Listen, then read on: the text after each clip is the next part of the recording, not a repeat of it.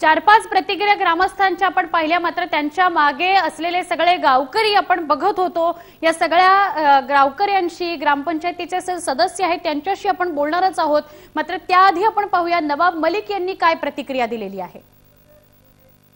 माझ्या मुलांनी आणि माझ्या कुटुंबाच्या लोकांनी उस्मानाबाद जिल्ह्यामध्ये दीडशे एकर जागा खरेदी केलेली.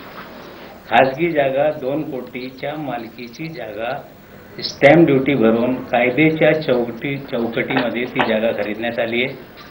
तिकडे शेळी मेंढी पालन कोल्ड स्टोरेज ॲग्रो इंडस्ट्री असं सगळं प्रकल्प ते उभारणार आहे.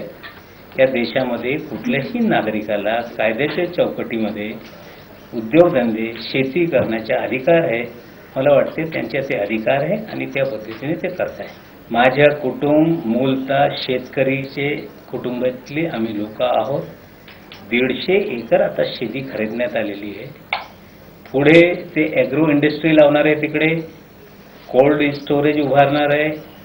तिकडे शेळीपालनचे उद्योग करणार आहे आणि सगळे एग्रो बेस्ड इंडस्ट्रीज तिकडे उभारण्यासाठी त्यांनी जागा घेतलेली आहे. याची माहिती त्यांनी मला दिलेली आहे. कायद्याच्या चौकटीत सगळी ते उद्योगधंदे तिकडे शेती करणार आहे. माझ्या कुटुंबाच्या लोकांना मी नेहमीच बोलतो कायदा तोडणार नाही और किसी के बाप से नाही. आम्ही या देशामध्ये धर्मनिरपेक्ष असताना आम्ही मुरकुटे साहेबाकडून सगळी ही जागा घेतलेली आहे. त्यांच्या घरात जर काही देवी असतील काही त्यांनी त्यांच्या पद्धतीने धार्मिक विधी ते करत असतील मला वाटतं स्वतः ते सगळं ते घेऊन गेले असतील. पण आम्ही प्रार्थना स्थळं तोडणारी मंडळी नाही. राजकारण कोणाला करायचे असतील तर त्यांनी करावं. त्यांना आम्ही तोंड देण्यासाठी आमची तयारी आहे.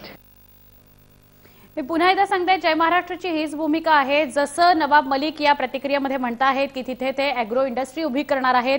तर अर्थातच जय महाराष्ट्र त्याचं स्वागत